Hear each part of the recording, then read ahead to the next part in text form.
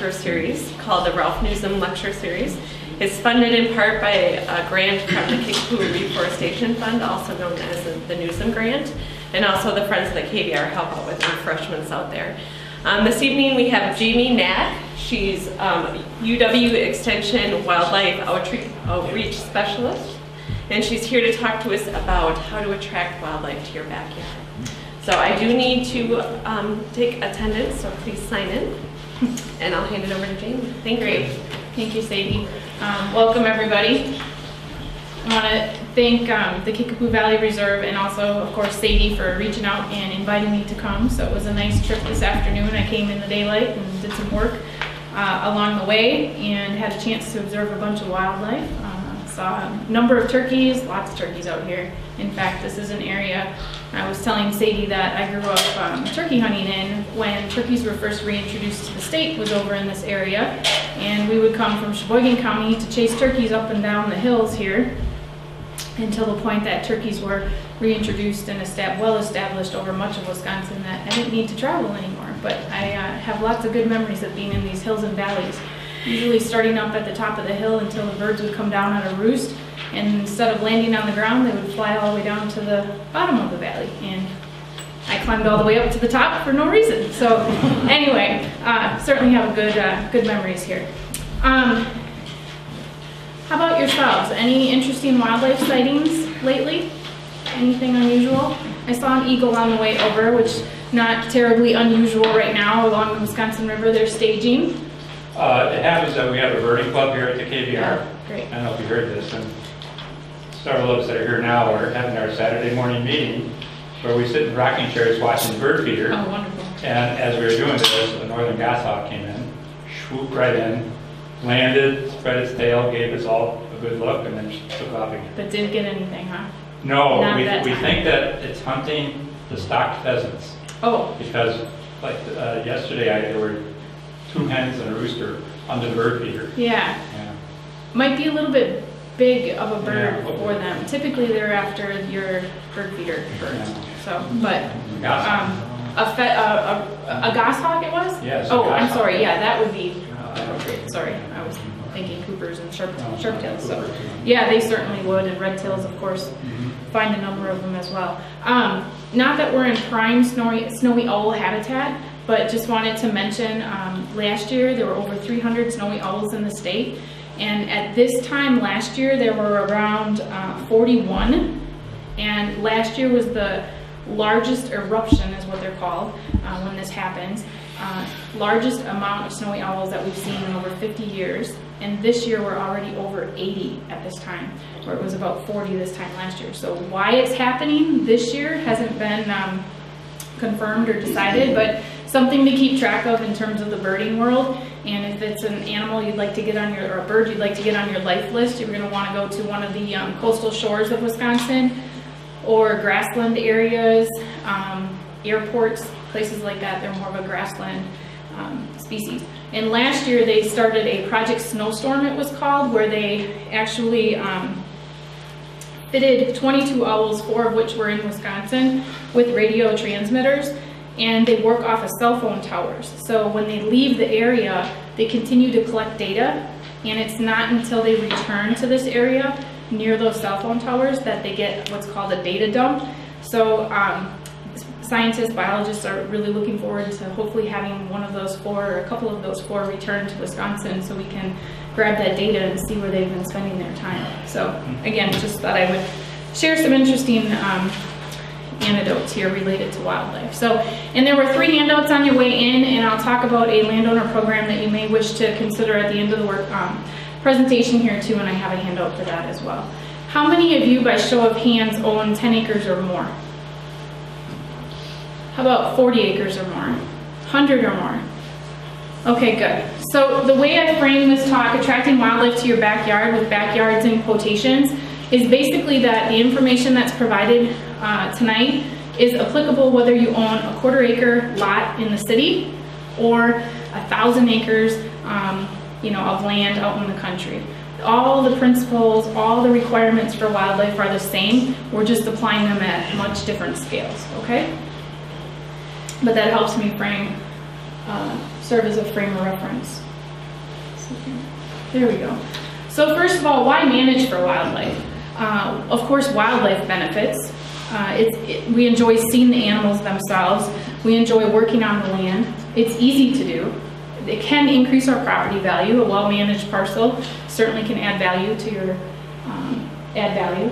Energy and soil conservation, photography opportunities, natural insect control when we talk about some of the birds and um, bat species, can help pollinate plants and disperse seeds, and it's really fun to involve kids. So um, talking about nature deficit or disorder and the last child in the woods and all this, this concept of getting our young people uh, involved in the outdoors, this is one way as a parent or a grandparent you can get them involved in wildlife. And I think it's tremendously um, fun to do that. And of course, my kids are really um, engaged in the outdoors. This is my daughter at, at grandma's pulling a gray tree frog off of the, um, the deck that was all blended in and showing it to grandma who was kind of, you know, taken back a little bit that she would just grab it off the deck and walk around with it. So it's really fun to involve kids with this.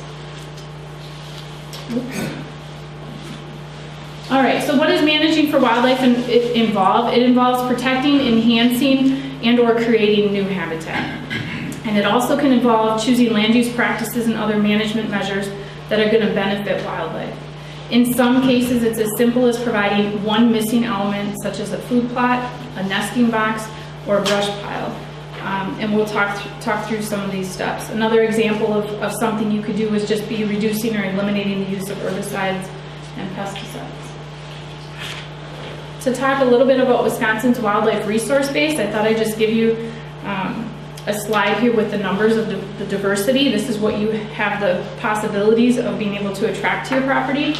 So we have roughly 525 species of wildlife in the state and 300 to 400 of those are birds. So there's a large range there because some of them migrate. So it depends on the time of the year that we're talking. I think by record there's been at least 421 birds um, 421 birds documented in the state, but not all of those breed or are considered resident species. For mammals, it's 72 plus or minus half a dozen. Depends on if you want to uh, count animals that are now extirpated, something like a wolverine. Not really here in Wisconsin anymore. They haven't had a sighting of a wolverine for over 100 years. A couple years ago, maybe 10 years ago, if you asked me if we had mountain lions or cougars, I would have said no. Can't say that anymore. We've documented at least six different individual mountain lions through DNA evidence uh, that have moved through the state. However, there is no breeding population of that animal. So it's only been males at this point and they've not established. So it depends if you want to um, count those. Our elk population is still in its reintroduction state. It's not established fully at this point. It's being uh, assisted. So it depends on how many, how you want to count some of those animals a number of years ago. Those of you that know Scott Craven, uh, wildlife ecologist, uh, Department of Forest and Wildlife Ecology, he took a phone call while he was on the radio of a woman who had said, and she was from the western part of Wisconsin, that, hey, there's a prairie dog out by our barn. And this was a number of years ago where we didn't have access to um, Facebook and email and things like that. And Scott said, oh no, it must be a woodchuck that you're talking about. And she described the burrow and that it was alone and all these things. And they just agreed to disagree. And a couple weeks later, he got a photo in the mail of a very nice prairie dog out by her barn. So backtrack that story, he then got very curious about it, and it turns out they had gotten a load of hay from North Dakota that year.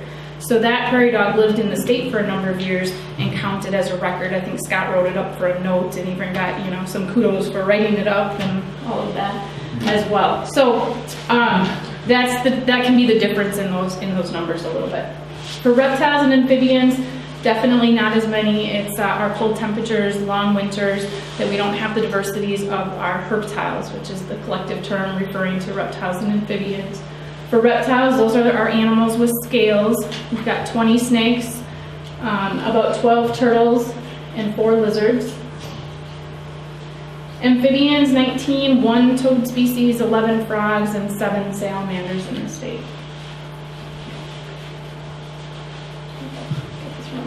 Okay, so the key to attracting wildlife to your backyard, no matter how big it is, are the are providing the four basic habitat needs. It's the if you build it, they will come. So you need to provide for these four, these four items within their habitat if you want to attract the animal. So you have to decide what species you want to manage for.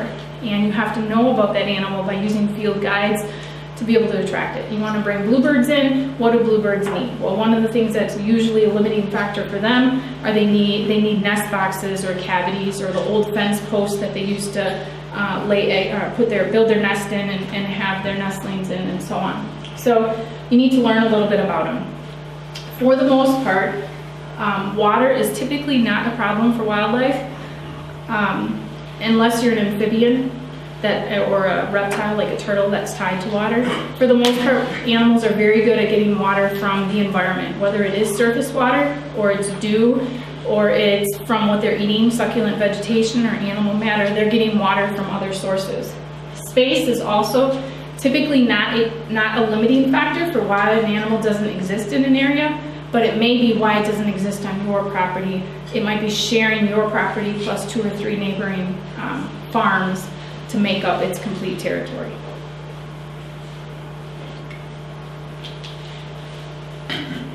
Typically, the limiting factors or the areas where you're gonna wanna focus for attracting are gonna be under food and shelter and cover.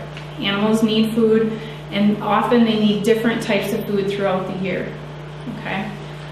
And as far as shelter, shelter can be even more of an issue than starvation. Animals like our, our severe winter last year, when we looked at our car-killed deer in the northern part and we looked at their fat content over some of their organs and along their back, they actually had pretty good fat reserves going into late winter, but they can die from exposure, the extreme temperatures, and not having enough thermal cover, um, evergreens and things like that for, for cover. So actually shelter and cover can be even more uh, limiting than food for many species.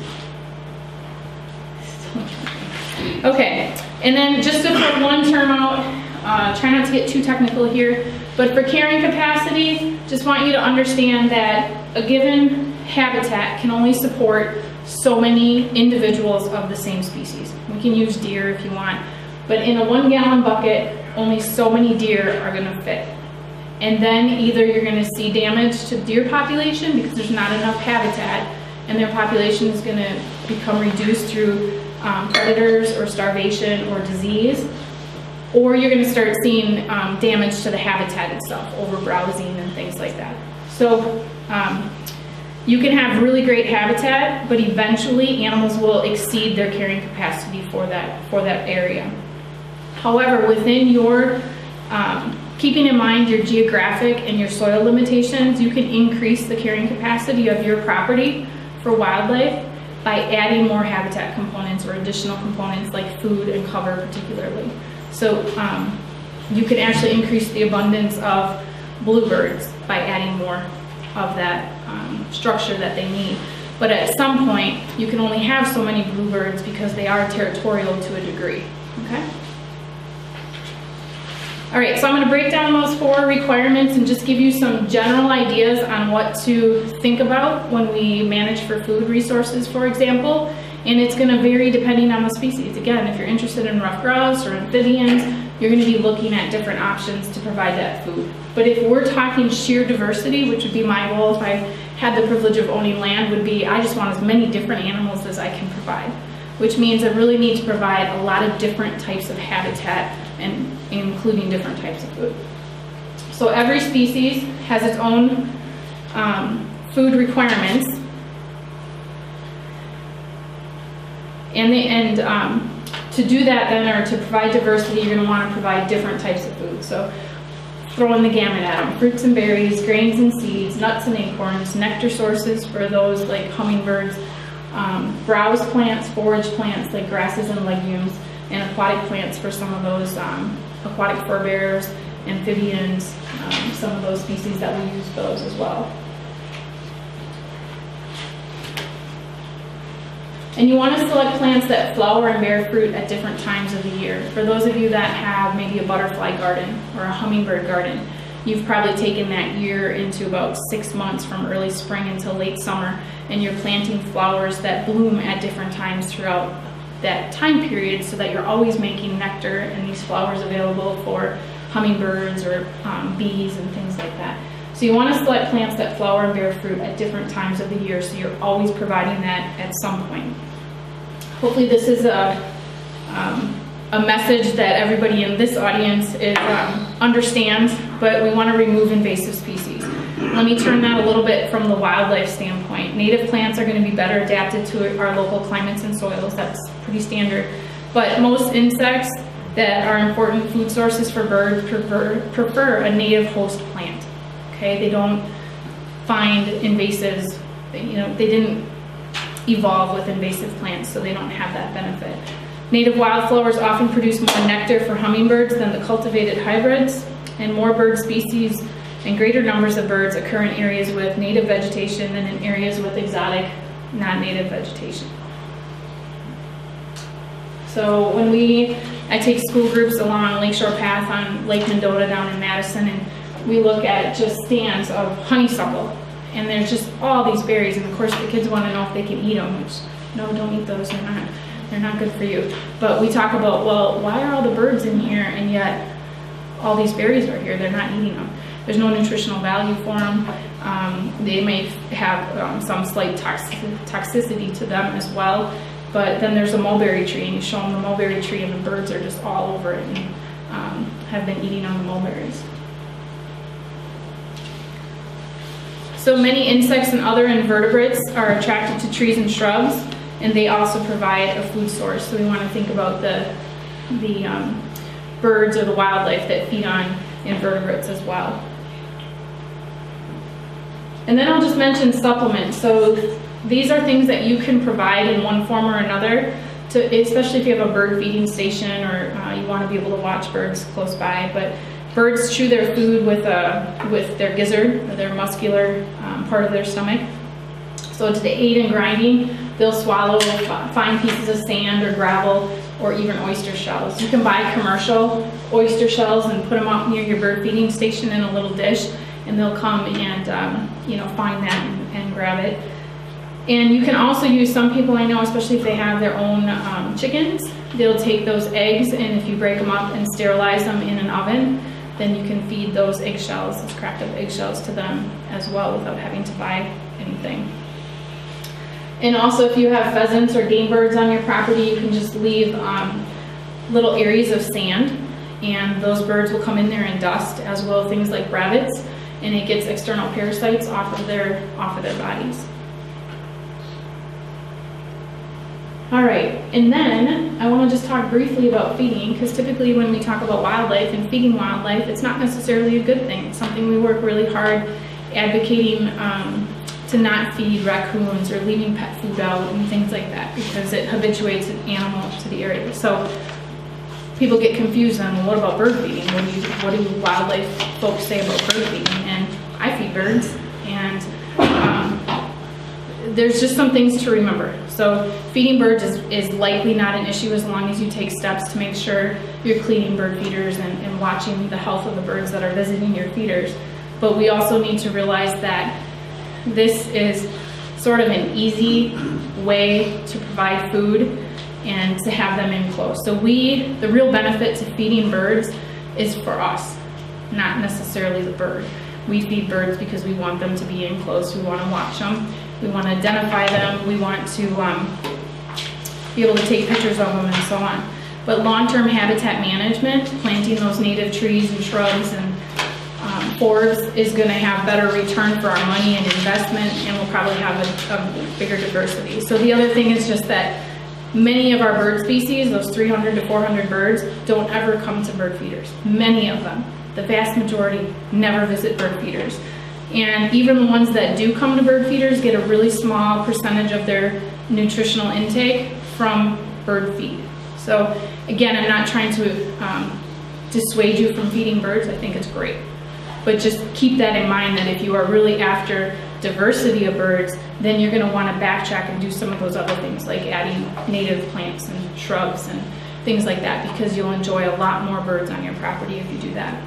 And then I have lots of people calling about, you know, blackbirds monopolizing their bird feeders and I imagine most of you in the room are well versed in um, tips for feeding birds and that would be selecting high quality seed mixes, ones without a lot of fillers. because it's those fillers that attract some of those, dare say, trash birds that come in and spread that seed and kick it around. So it's expensive, but you'll get more bang for your buck by feeding black oil um, sunflower seeds and some of the higher quality seeds. You're gonna pay more for it, but it's gonna go to probably the more desired bird species. And then a few other things through research. Uh, one is placement of your bird feeders. They should be placed either within three feet of a window for viewing or greater than 30 feet away. It's that threshold between three and 30 feet that poses a danger for, for window collisions. So research found that birds that were close to the window within three feet at a feeder and were startled by something, when they bumped into the window, they didn't have enough velocity to be harmed. Okay, so they they glanced off of it. It didn't it didn't harm them. And then after 30 feet, they had enough room to recognize and negotiate that there was a window there and make a counter move to avoid it. It's within that three to 30 feet that they startle from that Cooper's hawk coming in or a cat or you go out the back door or something like that, that they end up crashing into the window with enough speed that it causes um, an injury or death. So that's something to keep in mind too. And then the other, whether you have outdoor cats, hopefully not, but maybe a neighbor does, um, you also want to provide cover within maybe 30 feet of that feeder, but not right at the feeder because it serves as an ambush point for predators. Okay, so if you put your bird feeder right in a bunch of shrubs, that is a potential place for predators to lurk. And especially if you've got juncos or mourning doves on the ground, it's you know fairly easy for them to um, pick them off from from cover. So just some some tips. And then the other things again, feeding feeding birds, wonderful. Enjoy it. Um, it's an expensive hobby, but it's uh, it, it's worth it. Is just to clean your figure your um, feeders regularly with a weak bleach solution, and then watch the birds that are coming. If you start to see conjunctivitis around the eyes, feeders can be a source of disease spread. So that bird that's sick um, comes and scratches or rubs its eye against the feeder and another bird comes and lands on it, it can be a reservoir for spreading disease. So um, again, just be, be careful and clean up seed that's spilled on the ground, especially in warm weather because it can get mold, moldy and, and pose a problem there. All right. So as far as other wildlife go, outside of probably squirrels and birds, um, we really don't encourage feeding. And in fact, in some counties with um, chronic wasting disease, it's illegal to feed um, deer or place uh, food in a manner that deer can encounter it. So feeding can cause disease outbreaks, it can lead to an overabundance of wildlife, it can cause damage to habitat, crops, it can threaten human health and safety. So this bear, uh, probably in the spring, in the north especially, we get tons of calls of bears around yards. And it only takes one question. Do you have a bird feeder up? Yeah. They're really hungry because they're coming out of hibernation. And especially this past winter where we had that late winter, the natural forage wasn't available to them. So they were mighty, mighty hungry and desperate and coming really close to um, humans for garbage and, and bird feeders. So especially in the north, um, we just don't, we tell people just don't put your feeders up until uh, late spring. And then uh, feeding can also cause wildlife to rely on an easy but nutritionally poor food. Okay, so moving on to water. Um, animals need water for drinking and bathing. It could be as simple as applying or putting out a bird, uh, just a saucer for a bird to get water in a bird bath. It could be creating a pond, or some of you maybe even have a very large pond or maybe a wetland complex on your property. Um, if you're supplying the water, you're going to want to keep it fresh, change it every few days. In a small pond with an area large enough to support plants will broaden the range of wildlife activity. And if you can provide moving water, that will even up the diversity of wildlife uh, even greater. Um, heated bird baths in the winter, if, you're willing to, to supply them, uh, it's really wonderful. And bird baths themselves, if you make your own or fabricate your own, should be no more than three inches deep and have a rough slope, sloping bottom to prevent drowning. So when we had drought a couple years ago, I know um, people were putting out like swimming swimming pools, the plastic kiddie pools, and filling them with some water, but it became a death trap for birds because they would get in there, and if the water was too deep, they couldn't get out. So if you're going to do that, at least put some kind of structure, a couple blocks of firewood or a ramp or anything like that so that they can get back out of there. But if you don't currently have a water feature on your property or in your backyard, by adding that, you will definitely increase um, the wildlife. So things like nighthawks or um, a variety of birds and turtles and frogs, that whole amphibian core. And then I'll just point out, I won't spend much time on it because rarely are there more than a couple people that find themselves in the situation where they have a lake on their property, but the Minnesota DNR has a publication called Lakescaping for Wildlife and Water Quality. So if you live on a shoreline, um, or you do have a lake, there are specific kind of how-to manuals for things you can do to restore that uh, shoreline with natural vegetation and encourage wildlife. So for cover and shelter, um, the, the terms are interchangeable. I'll probably use, use both as I move forward here, but it's any place that protects wildlife from predators and adverse weather conditions. And different species have very different cover requirements, and it's particularly critical when animals are nesting and raising their young and when animals are resting. So we think about a mallard duck or a woodcock or a, um, oh, trying to think of uh, some of the grassland birds that nest on the ground. They nest right on the ground, so they need camouflage and they need certain grasses. Some will require a different density and height of grass than others.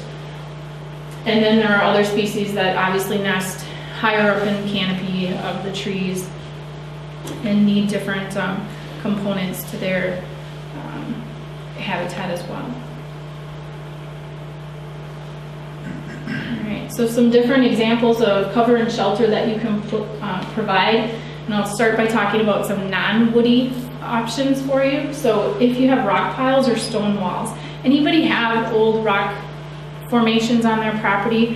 When farms were clearing fields, they often used to just pile them up along the fence line. So I'm from Sheboygan County and there's a number of farms that still have them.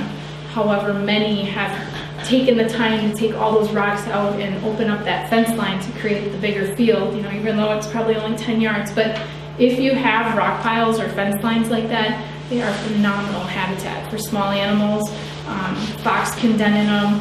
Um, you know, again, some of the snakes and, and reptile species that again serve a purpose in controlling rodent populations. They're just uh, phenomenal pieces of habitat. Brush piles are another piece of cover and shelter, and these evergreens are dense shrubs. Even in, in your backyard, if you don't have a, a, shelter belt or an area or a corner where you've planted um, evergreens, uh, something to really think about because that's that thermal cover that we're talking about with um, with the songbirds that's so important and other wildlife as well on a bigger scale you know deer that's the places that they're going to yard and group up over the winter to make it through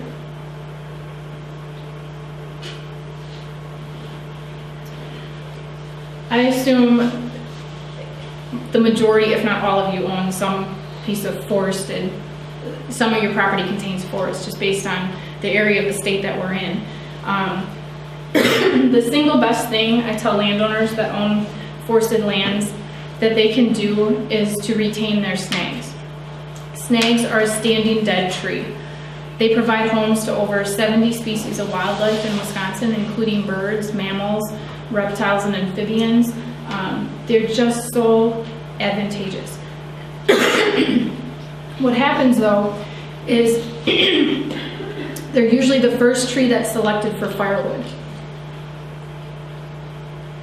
Because they're already dead, they're taking up valuable canopy and space for the next generation of trees. And as far as firewood goes, it doesn't take very long to dry a dead tree and have it ready to go for the fireplace or the, the wood stove. However, as I said, um, during the different stages of decay that a tree goes through, those trees will provide different habitat for different species. In some cases it's shelter, in some cases it's um, actually insects that they're getting out of the trees, okay? And then once that tree falls, now you've got a log that again continues to decay and make its own little microclimate. Uh, salamanders underneath there. If it's a large tree, you might have an animal that actually dens in it like a fox. So not only do we need snags that are just a couple inches in diameter that would serve for chickadees. But we also need really big diameter trees that would be homes for some of the owl species or flying squirrels, uh, species like that. And then the last point here is leaving at least some leaf litter for ground feeding birds. Um, I failed with my mom at home. She has a very well manicured yard and rakes all the leaves and, um, you know, they, they get them out of there. But if you can leave those leaves on the ground, again, many birds forage on the ground. Many small mammals use that for important cover to, to move from one place to another. The flicker is an example that it'll walk through that ground and, and look for insects. So leaving some of that debris, you might not think about it that much or you want this park-like setting in your backyard, but you will really be devoid of wildlife. Um, if, if you have no brush piles and you have no dead trees and you have no logs or sticks or um, structure on the ground. Uh, there's also um, right and wrong ways to build brush piles, which I didn't realize it was so technical. I thought you just, you know, took the branches and piled them up. But you actually want to start with really solid bases. So cutting logs in like four, four foot sections and crisscrossing them assures that you always have crevices at the bottom as you put those tops on and they start to um, degrade over time. Some people I've seen use um, like black corrugated tubing or PVC piping, something artificial, but again, it keeps, uh, they actually have their own hole within that manufactured um, plastic that animals can hide in. So if you enjoy rabbit hunting, um, it can be fun to build some good brush piles so that you have that option.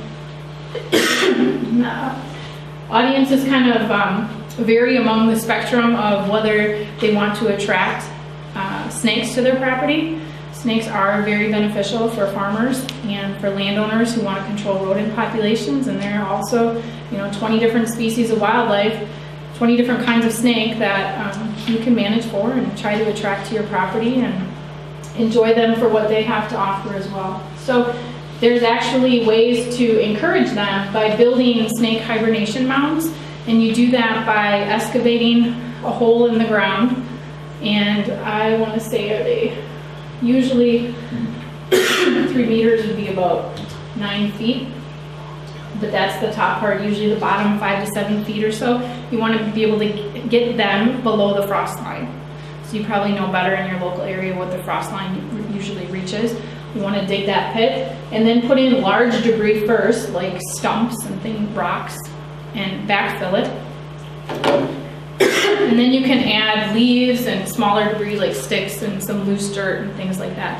And they'll make their way down into that pit and overwinter.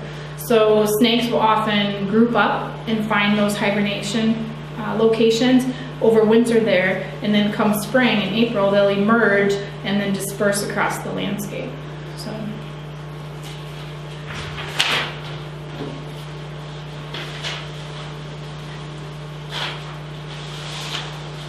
When we talked about limiting factors, often it is a matter of not having what snags would provide.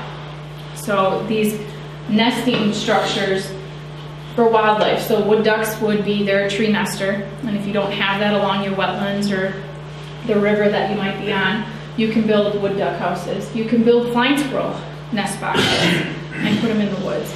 I don't know how many of you have re realized you have flying squirrels, but you're in perfect habitat with um, the amount of woods that you have here in, in this area of the state. You just have to hang on to those dead trees.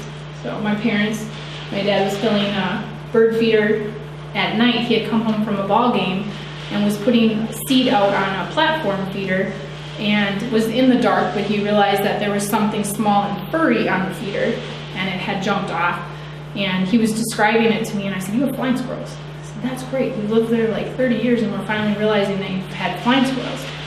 So I told him to put out a floodlight, a red floodlight, on a tree near the feeder, and then he hooked it up so he could turn it on and off from inside the warmth of the house. And then at night, he turned that red feeder on, and sure enough, the flying squirrels would jump in and out. They can't really fly. They jump off from trees and, and glide, and he would watch, we would watch them feed. So we'd sit in the dark house and I'll line up my kids and you know, we watch the flying squirrels come in. So, and then we put peanut butter on pine cones for them and they'd come in and lick up that peanut butter. So, um, but you gotta have those cavities. So you can also build those. So the one caveat with nest boxes, and when you go to um, garden shows or places like that, you always see like some unique designs or crafty, or I saw one once that was painted to look like a Stormy Kromer hat, and it had a hole in it. And those are all neat and everything, but each species of wildlife that uses a nest box requires a very specific design for it to be um, serve the best purpose. So wood duck houses, if you make that hole any bigger than what the hen's coming out right there, it'll make it really easy for um, uh, raccoons to reach in and grab, grab the young or the eggs. Same for bluebird houses. We have a Bluebird Restoration Association in Wisconsin. We've done lots and lots of research over bluebird house designs and have recommendations on their website. So we're kind of foolish to build something with four sides, a roof and a bottom and a hole, you're better to use their designs that have been tested against black flies and weather conditions and uh, predators and things like that. So if you want to build a, a box for certain species, owls, um, squirrels, um, kestrels, do your research and the internet's got lots of great science-based um, websites for that stuff. Bats are also another animal that you can build shelter for. And right now our bats, especially the cave bats, we have eight species of bats. Half of them are cave bats. They overwinter here in the state in a hibernaculum, cave most of the time. The other four species migrate, so they go somewhere south to survive Wisconsin's winters. The four species that stay here are prone right now to white nose syndrome. Heard of white nose syndrome? So it's a cold loving fungus that grows in caves. It started in the east um, and it's moved into about 26 states. We documented it in Grant County, not too far from here, uh, last winter. And we'll see what happens this, this winter. We've got a great ecologist team working on monitoring for white nose syndrome. But anyway, um, it's a deadly fungus that grows on the bats. And basically what it does is it irritates them that they arouse during the winter, wakes them up, and there's no bugs or insects for them to feed on. All of our bats are insect eaters. And they end up spending, ener spending energy and have no way to replace it. So it wipes out, um, it's been wiping out 90 to 100% of the bats where it's found in those caves. So it's been millions of bats that have been killed at this point because of that. So there's a lot of research going on, much of it in the Madison um, facilities right now. So bats might be something that, because of that, you decide to do a little bit more for. And what we're talking about are really summer roosts, places for them in the summertime to hang out. This wouldn't be warm enough in the winter that they would overwinter in a bat box. But again, they, um, a, a, little, a single little brown bat can catch more than 600 mosquito-sized insects in an hour. We wish they would only eat min, uh, mosquitoes or select for mosquitoes, but they eat a lot of other insects too, like flying, um, flying insects like moths and things like that.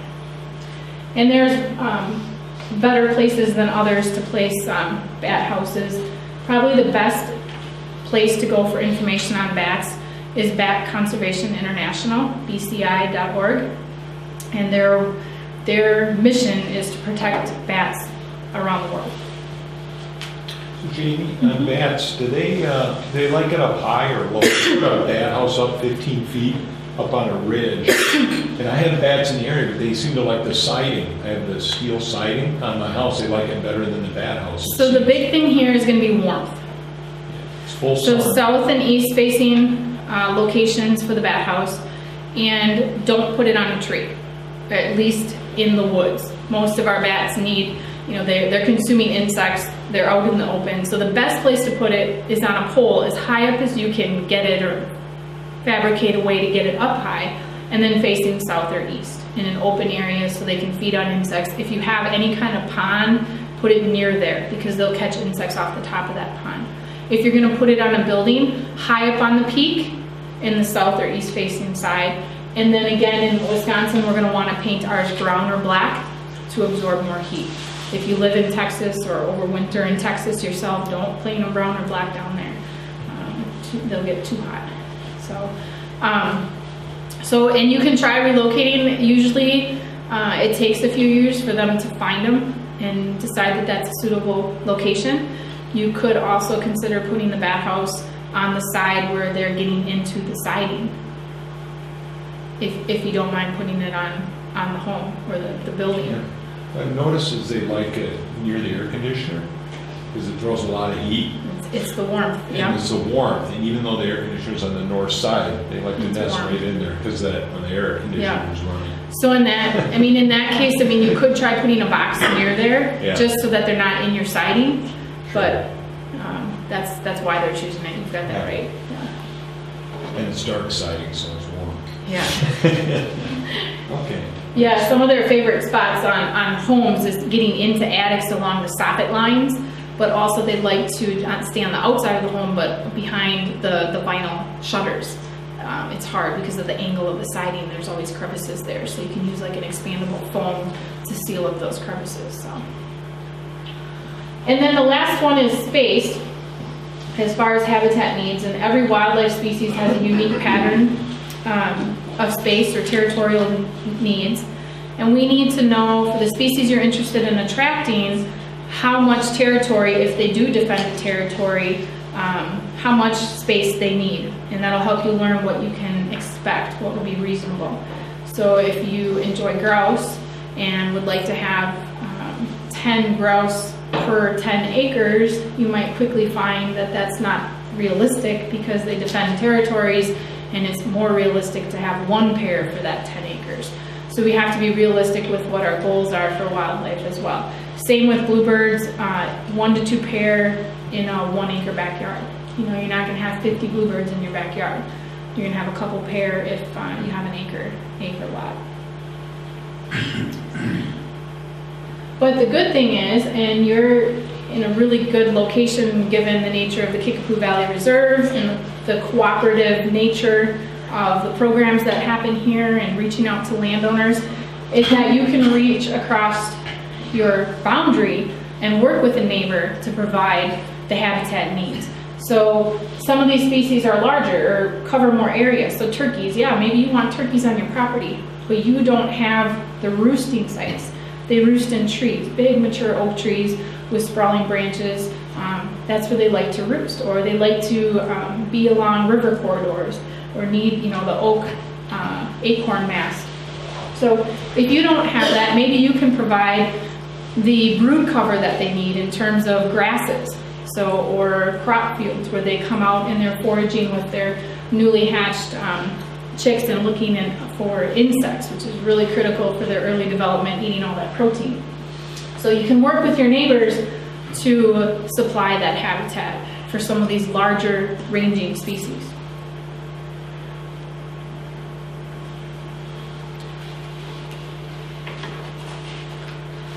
So in addition to the four habitat components, you also need to make sure that you're arranging these um, pieces throughout the property. So this is an example of a backyard. So we're looking at a very small scale. and you're even within your yard, you don't want um, all your food right here and your water bird bath in the back corner and maybe some conifer trees here. You really want to work on a plan that intersperses everything. So you've got maybe maybe you've got two bird baths in your in your backyard, and you've got feeders in one location, but you've got um, the trees and shrubs are you know dispersed throughout so that there's cover throughout the area. And certainly on a larger scale, if you're going to put in a food plot uh, for deer, turkeys, whatever species you might uh, plant, uh, you know, in a or leave in uh, unharvested in a field, you want to plant that near cover so that those animals aren't vulnerable getting out to that field or that plot to feed. You want to plant that near cover. And then we want to think diversity again. Coming back to diversity of wildlife, we've got to have a diversity of habitat. So you, you want to plant for diversity. We've learned that through um, um, history with Dutch elm disease, right? You plant all these Dutch elm dis- dis- uh, trees along city streets, and then Dutch elm disease came through and wiped out lots and lots of trees. So you want to think about diversity in your woods as well. Um, oak wilt is something we have to be concerned about. There's lots of different tree diseases out there. So when you plant, think about it on the terms of diversity. And that'll also attract a higher diversity of wildlife. Structural diversity talks about like living and non-living. So we've got the trees, but now we're talking about rock piles and brush piles and logs, the different feeders, um, different structures there. And the vertical diversity is the levels of habitat. So really looking at the property from the bottom up. So leaves on the ground, logs on the ground. Um, you want forbs, shrubs, different levels and successional stages or ages of, of the tree species as well. Because even birds, for instance, um, some nest on the ground, we talked about that. Woodcock are gonna be ground nesters, grassland birds. And then we've got our shrub level, like cardinals and robins. And then you've got other species that are nesting way high up in the canopy, so, again. I'll just run through some of these quickly, some points in, in summary. Selecting native plants, providing that diversity. Um, selecting plants that bear fruit, seeds, nuts at different times of the year. Providing evergreens for the winter cover. Retaining snags and falling logs. Creating the brush piles, leaving some leaf litter. Reducing or eliminating the use of pesticides and herbicides, especially things like bluebirds. We know that they're susceptible um, to some of that. Turn more of your lawn into habitat. For those of you that only have a few acres to work with, hey, you can make more. If you, if you like the way this sounds and you want to bring in more wildlife, then just, you know, cut the corners a little bit on some of your property lines. Don't mow so much. You know, put in some more, some more grass and so on. And then I can't not give a talk on wildlife and, and not bring up uh, the issue with cats. So just, um, cats do a number on wildlife. So one of the things you can do is just keeping, keeping your cat inside, encouraging others to do the same. Um, if you live on a farm, I always offer, you know, some sensitivity there, knowing that you need to um, control, pop, you know, rodent populations and disease risks and things like that with uh, livestock. But you know, only only care for as many cats as you need to. I guess is the is the message there. And then I'm just going to walk you through a few of the resources and hopefully in the back of the room I had given you a handout that is colorful but in really small print. That was a much larger poster that I had done but was able to print it as a handout as well. So I think with the help of a magnifying glass you'll just get all of those tips. Much of what's there is what I talked about today, um, tonight with some of those um, different habitat features. And then there's a resource page there on both attracting wildlife, and I also do similar presentations on dealing with nuisance wildlife and the different tips and tools and techniques to solve those problems. So if you do have that bat in the attic or the raccoon in the chimney, uh, you can work through that. So there are resources to get to a website on fact sheets there. These are some of our extension publications. I also have them to the left, uh, your right in the room that you can look at as well when we're done. Now let's just access. There's also an excellent series that the Department of Natural Resource has, has done on wildlife in your land. It's really, the intended, the intended audience is you guys. Um, so it's 14 publications and it talks about planting trees and shrubs for wildlife, managing dead wood, the critter condo, con, condos, managing grasslands, there's one on wetlands, there's one on forest management, um, brush piles, and on and on. And that, I gave you the link, they're all available by PDF off of DNR's website. And then I'll point out, um, yes, is- these are Minnesota publications, but they are really nice. I have three of them up here in the front of the room. And they are on woodworking for wildlife. That lakescaping one I mentioned, Wild About Birds, is all on bird feeding. And landscaping for wildlife, that one is really um, quite good. I used that as a guide when I did my own yard. And then if you really get interested in more of the backyard setting with this, there is a program that sometimes people enjoy being a part of, but it's the uh, Certified Wildlife Habitat. It's through the National Wildlife Federation's Backyard Wildlife Habitat Program. And essentially, they have an application. You have to meet certain criteria within those habitat categories, so food, water, shelter, cover. They list out, you know, you need to have X number within food and be able to describe your backyard. And once you've met those criteria for the program, you can become a certified backyard. And what's really nice about it is you can get that sign and put it up, but it's a talking point for, for others, if nothing else. Hey, how'd you get that sign? What does that mean? And you can talk to others about um, managing for wildlife and, and the work that you're doing and encourage them to do the same. And then birdscaping in the Midwest, I just offer that. Um, Mariette Nowak, Nowak does um, a really great job. This book's up here too, and it's a guide to gardening with native plants to attract birds specifically. And then just keep in mind, I mentioned the Bluebird Restoration Association, but there's many groups out there like it, both nationally and state. Um, these are a really small group, so Bat Conservation International, the Bluebirds, Turkey Federation, Ruffed Grouse Society, the Audubon Society. If there's a particular species you're interested in, there's probably a group that specializes in it, but there's also many of these groups specialize in the habitat where this species, that particular species is found. So Ruffed Grouse Society focuses on young forests, so aspen and um, alder. And Ducks Unlimited, obviously they're gonna focus on wetlands and grassland restorations and so on. And then lastly, I'm gonna talk really quickly about an opportunity that if you do own more than 10 acres, um, and you're interested in more of this wildlife or managing uh, your property for wildlife that you can consider. You know, Adrian went through this last, um, last summer with me, and that is the Wisconsin Coverts Project. And it's a woodland wildlife management program for landowners in Wisconsin or adjacent states that are interested in managing for wildlife. it's a three, four day, three night. We bring in wildlife and forestry professionals from state, federal, um, nonprofit uh, organizations to give you talks on, I don't know if I have, I don't have a slide with the, um, some of the subjects, but we talk about small mammals, reptiles, turkeys, early successional forest management for grouse and woodcock. We do a number of field tours. We take you on a tour with uh, foresters and wildlife biologists to look at different harvest strategies for timber and um, selective harvests and shelter wood cuts and clear cutting and what does it mean for wildlife. Um, so lots of great hands-on and, and just real social time with other landowners. And then we hope, we try to select people who are involved in their local communities and are willing to share the information. So it is kind of a train the trainer type workshop for us. And we encourage them to reach out and motivate other woodland owners and to develop a written wildlife management plan is kind of important for our program as well. And I think I will, um, I have some brochures here if you're interested. I think I'll leave them on the table and then you can pick them up if you are interested. We take 25 to 30 landowners. It is an application to apply, just to collect some information about you.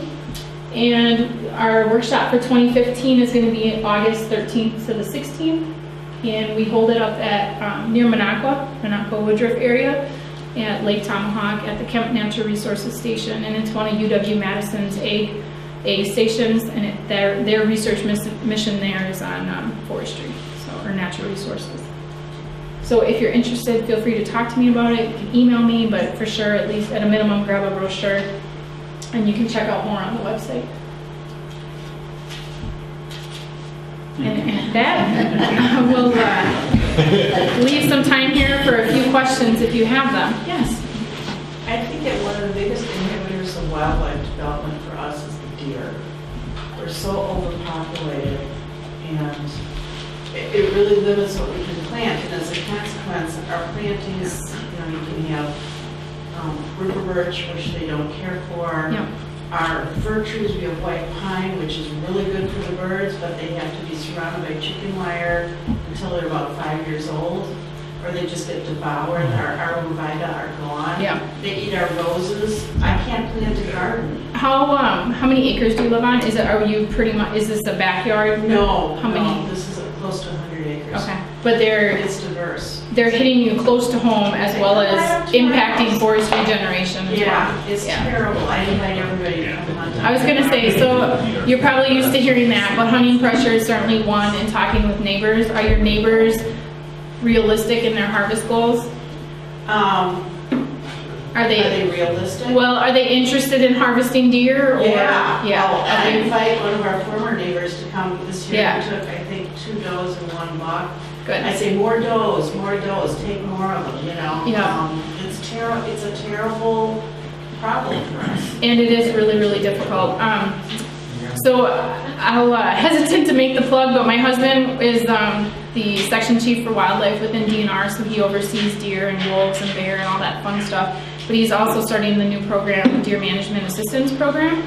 And that program is a program that you can enroll in, and the goal of it is to work with landowners to find the balance between habitat and deer numbers. Now, some of the people who enroll in that program are interested in more deer, big deer, trophy deer, right?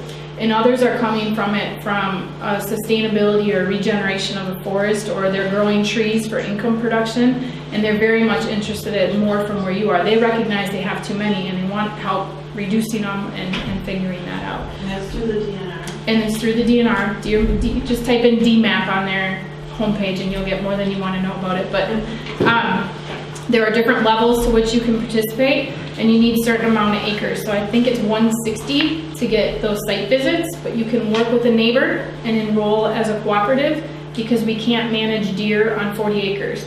We have to work in a cooperative unit to have any impact. And that's where I'm curious, you know, if you can reach out to the neighbors. But also one of the small incentives is that you can get your antlerless tags at half price. So instead of paying the twelve dollars, it's six dollars. We don't hunt. You get, you can get them though and Give them offer those as an incentive. Mhm. Um, so there are some things to at least investigate with that, but I think personally what I see is one of the strongest reasons to be involved is that you'll continue to get publications and educational materials on a every other week basis emailed to you, but it's those site visits that you're gonna get from a wildlife and um, forester to come and walk that property and start to address some of those concerns. And that forester can help you with suggestions on regenerating um, oak if that's what it is and um, things like that. So, and closer to home, the arborvitae are really tough. Uh, my parents lost all of theirs uh, two years ago, and I don't think they'll ever plant arborvitae again. There is a book over here called Deer Resistant Landscaping. I'll preface that by saying that I don't think there's anything they won't eat, depending on the situation that they're in. So extreme winters, they eventually have to work further down the preference list.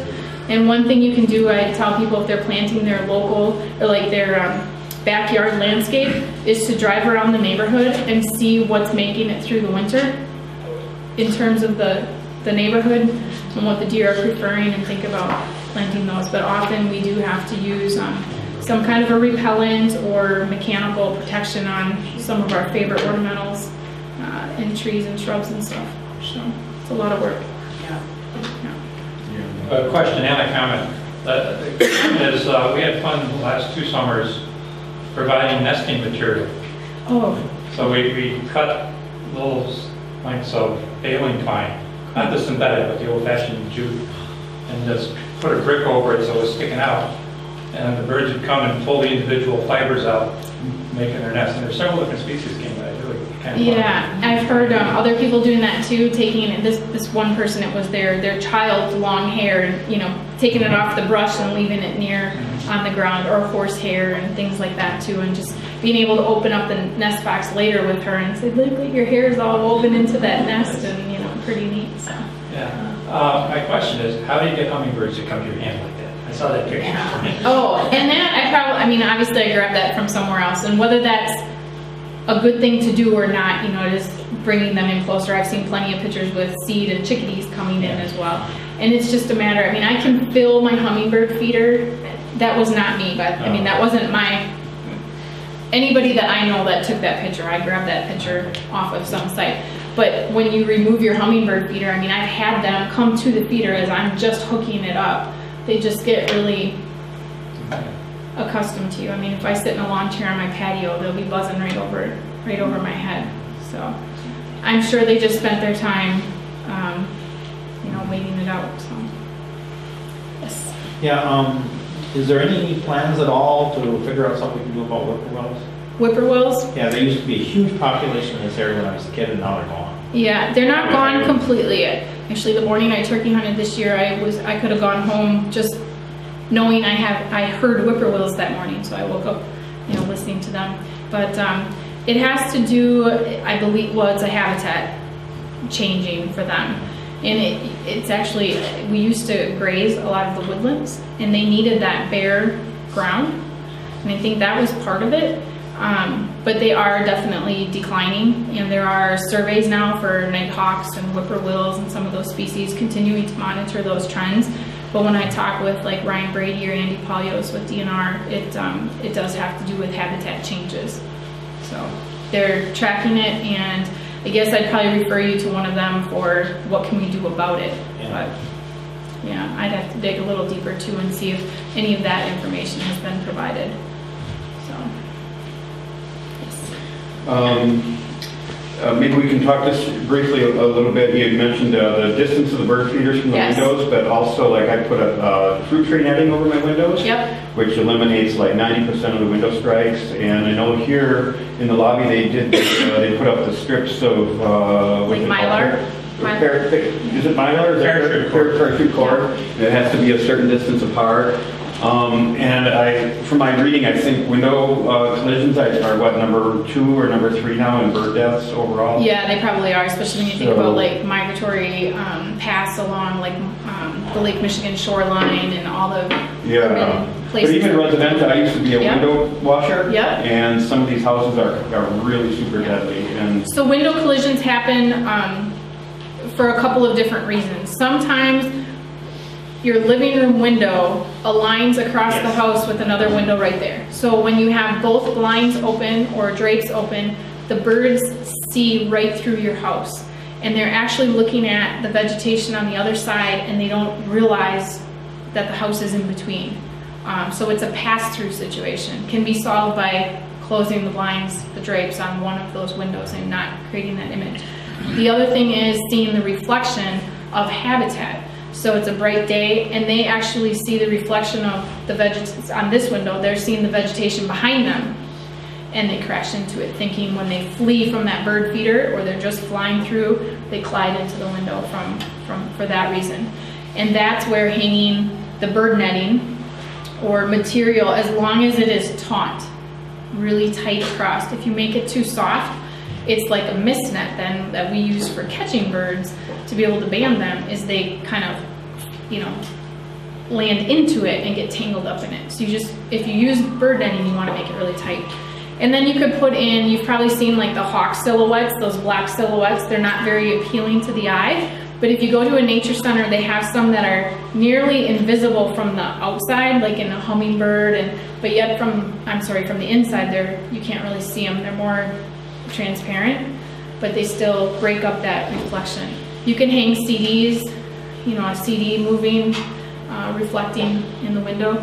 The other thing you can do, and it's, um, you wouldn't want to put a bird feeder then because you're providing that cover, but if you plant shrubs or a high hanging or a medium sized tree, like a shrub like tree, like a cranberry or something near that window, it can also provide that shade a little bit or break up the reflection um, of the window. And then the other time is sometimes you get a robin or a cardinal, a male during the breeding season sees its own reflection and they continue to bang against the window, right? And in that case, it's an individual animal and just going out there and covering the window from the outside with a blanket or something like that, they'll move on within a day or two and, you know, move from there. So knowing why they're doing it helps. A really wonderful website that deals with window collisions is Cornell Lab of Ornithology. If you've never been to Cornell Lab of Ornithology's website, please go there. They're the ones that oversee Project Feeder Watch and um, another, a number of the citizen science um, opportunities that you can participate in as well. But they have information on window collisions and how to prevent them.